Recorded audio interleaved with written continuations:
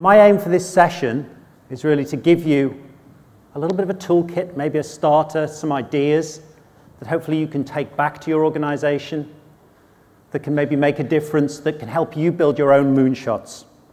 But what I wanted to start with was a real moonshot project. This is kind of a bit of a personal story to me. My first moonshot project, my first big piece of technology that changed my life, everyone's laughing. Who here had a Spectrum?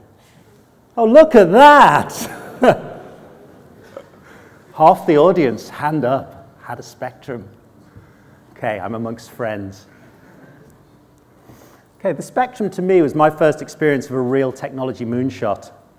And it was my first computer, and I learned technology on it. And it was a huge breakthrough at the time. Clive Sinclair and Sinclair Research did some incredible things. They developed some incredible new technologies that are still with us today. Moonshots live in that kind of gray area between audacious technology and pure science fiction. And people, the human race in general, we love crazy, outlandish plans. Some of the ideas are starting to happen. The idea of, instead of just demanding information, for the computer to suggest things, understand context, and to be able to assist is with us right now. And we can do many of those things. Create an environment that celebrate, celebrates and thrives on ideas rather than some of the environments that punish the new and punish ideas.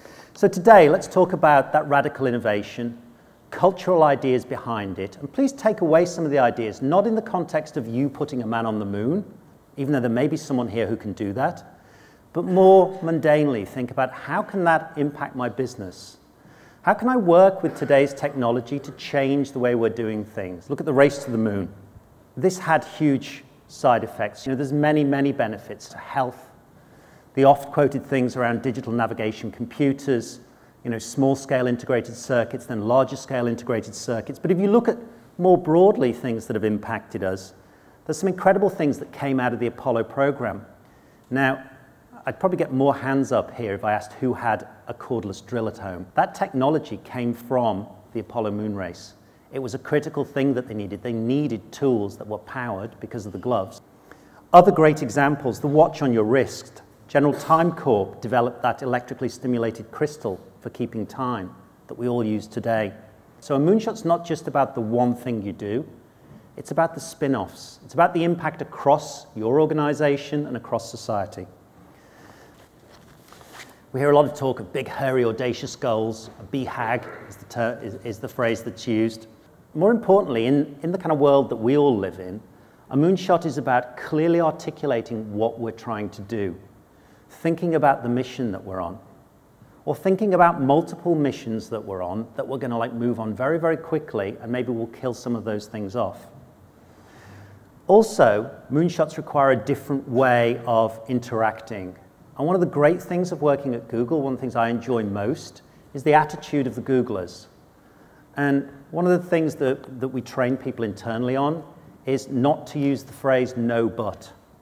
Really simple trick to change the way people interact, to change the way they collaborate, to move from a combative, I'm going to knock you down kind of thing and penalize you, to one where teams come together and pull together genuinely. I mean, John F. Kennedy here, as we all know, launched the original moonshot in 1962 with the phrase, we choose to go to the moon in this decade and to do other, the other things, not because they're easy, but because they are hard. So, okay, we've got a big goal. What do we do next? Somebody's come up with a big goal, or maybe we've got 10 of them that we're looking at. The environment that people work in is critical. Google has a real reputation for very different offices, and we try to be playful and whimsical.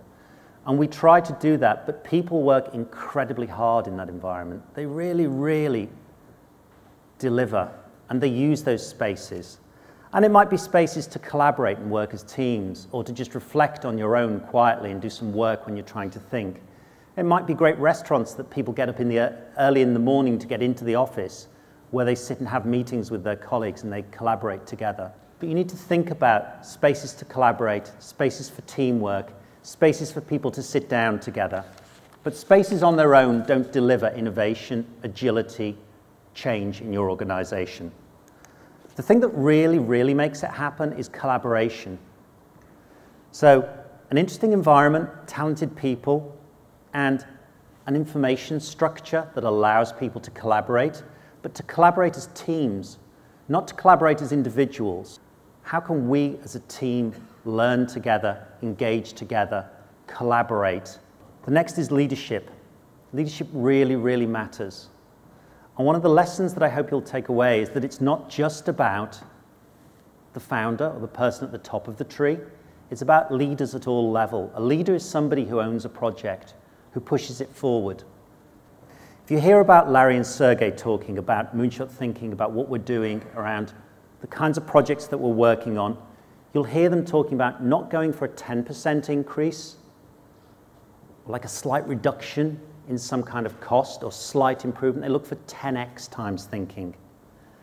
And the view is this, that if you're looking at those small marginal improvements, then you're building on top of existing solutions that lots of people have spent time thinking about, and you've got lots of existing constraints. And it becomes really, really tempting just to engage the resources, just pushing small, tiny incremental improvements. If you go for something 10x, like you know, let's make a car that can run 500 miles on a gallon, then you have to throw it all away and start from scratch and really create something new and inspiring. And that's where we come back to you know, putting a man on the moon. That was something that hadn't been done. It created great leadership, but then individuals in those teams on, working on Apollo led those individual projects. I thought I would put together a couple of rules that might help, other than just using yes and rather than no but.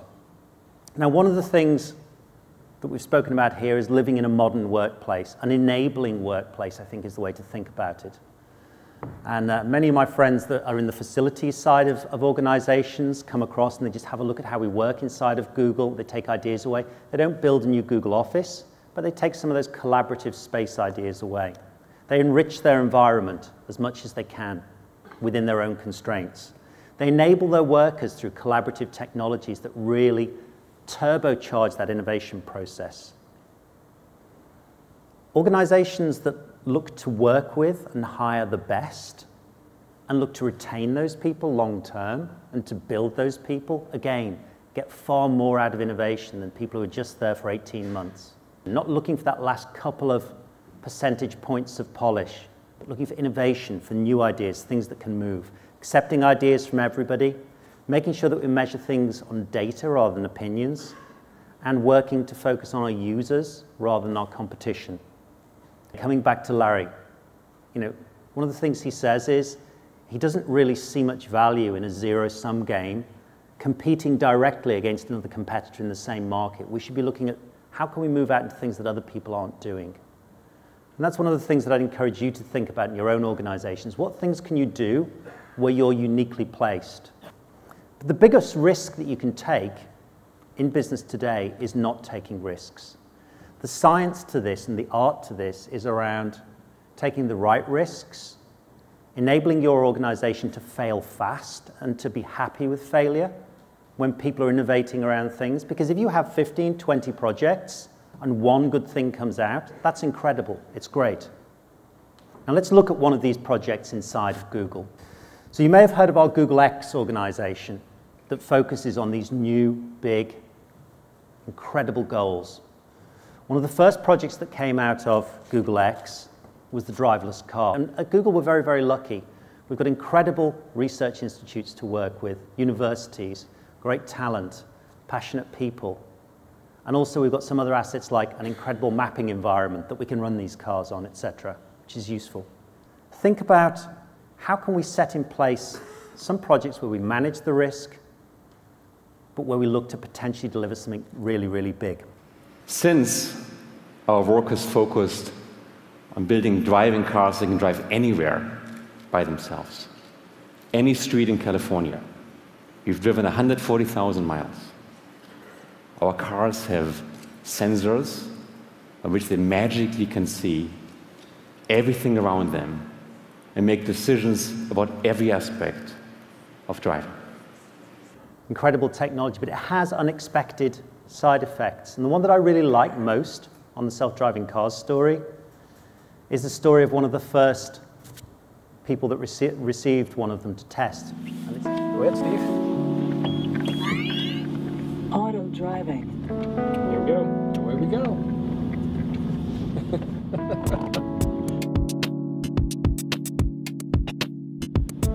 Oh, no hands. no hands anywhere. No hands, no feet. No hands, no feet, no nothing.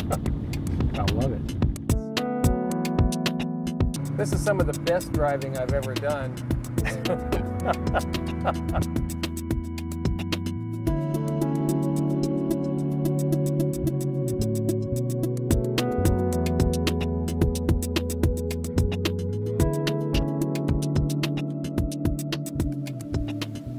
Ninety-five percent of my vision is is gone. I'm well past legally blind. You lose your timing in life, everything takes you much longer. There are some places that you cannot go, there are some things that you really cannot do.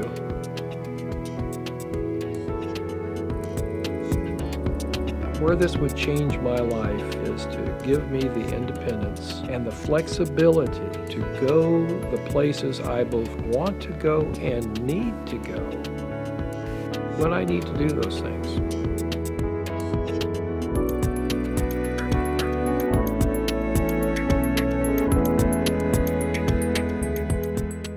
Google Glass is all about a wearable mobile headset that we can interact with that physical world on. So it's no longer just, I've got a mobile phone, it can do things for me. It's, I'm interacting with the real world. What I thought I'd do, just to welcome you to this world of glass, is I thought I'd show you one of the training videos. This is your touchpad. It runs from your temple to your ear. Tap the touchpad to wake up glass. You should see the display above your line of sight. Adjust it to see everything. The home screen shows a clock. This is your timeline. It's a row of cards. Things to the left are happening now or coming up, like the weather, an upcoming flight, or an event in your calendar. You can tap on any card to see more. The Google Explorers that I've spoken to and that I've seen have done some incredible things, and it's just been really, really incredible to see them get out there and use it in ways that we never imagined. And to come back to my earlier thoughts around you know, side effects, unintended consequences, these are just amazing, the kind of things that we've seen from explorers. I'm what you'd call a non-traditional teacher. I teach primarily online for students whose schools can't offer advanced physics courses.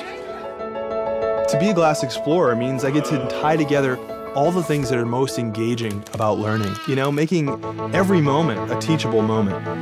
The first thing I'm planning to do with Glass is take students with me on a virtual field trip as I go to CERN in Switzerland.